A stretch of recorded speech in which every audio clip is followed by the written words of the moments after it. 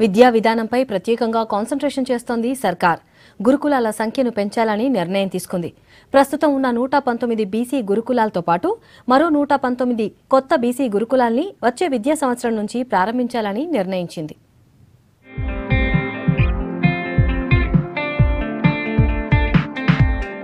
గురుకులాలపై ప్రత్యేక దృష్టి పెట్టింది రాష్ట్ర సర్కార్. కేజీ టు పీజీ విద్యా విధానంలో భాగంగా మరికొన్ని కొత్త గురుకులాలు తీసుకురావాలని నిర్ణయించింది.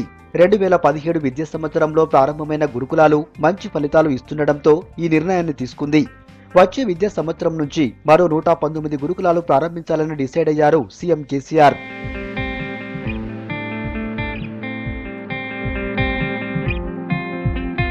ఈ విద్యా సంవత్సరంలో నియోజకవర్గానికి ఒకటి చొప్పున గురుకులాలను ఏర్పాటు చేసింది వచ్చే ఏడాది మరో నూట పంతొమ్మిది గురుకులాలు ఏర్పాటు కాబోతున్నాయి. ప్రస్తుతం నియోజకవర్గంలో బాలికల బీసీ గురుకులం ఉంటే ఇప్పుడు బాలుర బీసీ గురుకులాన్ని ఏర్పాటు చేయనుంది ప్రభుత్వం.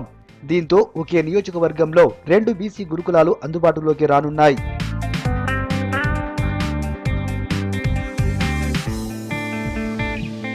ఈ విద్యా సంవత్సరం ప్రారంభించిన నూట పంతొమ్మిది బీసీ గురుకులాలు అద్దె భవనాల్లో నడుస్తున్నా ముప్పై వేల మంది విద్యార్థులు ఇంగ్లీష్ మీడియంలో చదువుకుంటున్నారు. దీంతో విద్యార్థులకు మరిన్ని వసతులు కల్పించడం కోసం కొత్త భవనాలను కట్టించాలని నిర్ణయించారు సీఎం కేసీఆర్.